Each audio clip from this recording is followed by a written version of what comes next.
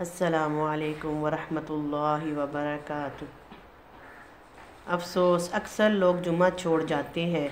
अल्लाह जल्ला शाहू ने फरमाया, और अफसोस, जब ये लोग कोई तिजारत या खेल तमाशा देखते हैं तो इसकी तरफ़ लपक जाते हैं और आपको खड़ा छोड़ जाते हैं। इनसे कह दीजिए कि जो कुछ अल्लाह के पास है वो खेल तमाशे और तिजारत से बहुत बेहतर है और अल्लाह ताला सबसे बेहतरीन रोज़ी देने वाला है।